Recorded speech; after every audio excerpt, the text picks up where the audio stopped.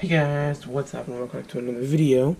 Today is going to be, finally, the LEGO Rapunzel's Tower review. In this set, it's gonna be 369 pieces, there's gonna be a lot of stickers, there's gonna be a, a lot of pretty much everything in this set. Um, it's set number 40, 43187, and it's part of the Disney Princess lineup. Um, there's three. There's two mini dolls. There's three characters. One. There's also Pas the Pascal, which is the other character. Um, there's gonna be three different builds. It's gonna be the main build, obviously, which is Rapunzel's tower. And there's this Snuggly Duckling over here, and like a little swing you can where you can put Rapunzel on it. It's gonna cost sixty dollars at retail, and let's get into the minifigures. In this set, as I said, there is two mini dolls and one character and one other character.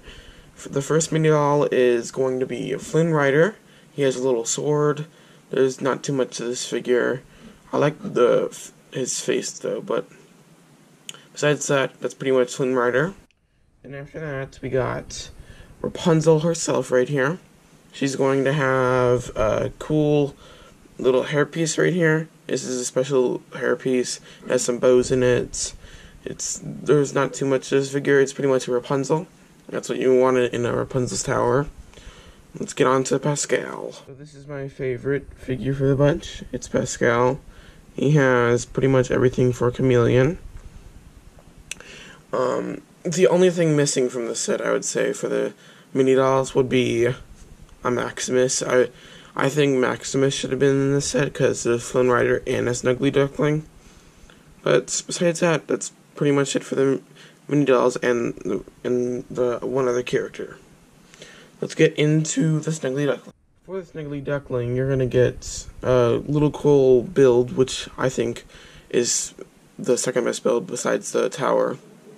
Um, there's going to be a little bit of design. You're going to get a little rubber ducky right there. Um, we're also going to have a sign with this is a snuggly duckling on it. On the interior, there is a little doorway or a window right there, and there's also a window on this side of the build. There's going to be a picture of the pirate that plays the piano, and that's pretty much it for the inside. There's also supposed to be like kind of like bull horns right there. Let's get on to the swing. For the swing, there's not really that much to it. There is, like, movability for the swing, but there's not really too much design to it. There is this cool wanted poster that has Flynn Rider's head on it, but nothing really else. Let's get on to the main build, which is the tower. So, for the Lego Rapunzel's tower, you're gonna have this. It's gonna be like look really cool in person. Might not look as cool in on this camera because uh, it's not as light in here as it should be. It has this cool mechanism where the door opens up and you can walk your mini dolls or Pascal inside. Also, the balcony where um, um, Rapunzel lets down her hair.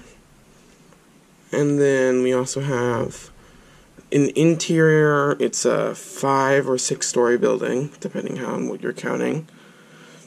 It has the bottom floor where the evil, the evil like adoptive mother does some does some evil things down there.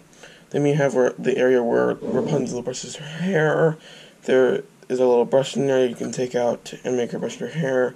It's like a wine glass and a fire pit. Also, this is where Rapunzel sleeps.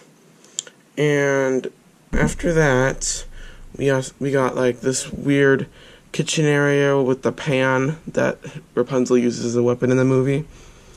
Then we also have the main room where there is a little painting area for Rapunzel where she's painted Maximus, where there really should have been a Maximus um, horse in this. And we also have like a little kitchen area over there then this would be the fifth floor, where there is an area for Rapunzel to paint the stars, as she does, I believe, in the movie. Then this technically could be a sixth floor because it's where a little crown is. But that's pretty much the whole entire tower in all of its beauty. That was the Lego Rapunzel's review. I want to know what you think of the whole entire tower and everything like that. Do you think there should have been a Maximus figure in this or not? But that's going to be it for me. I'll see you guys next time. Goodbye.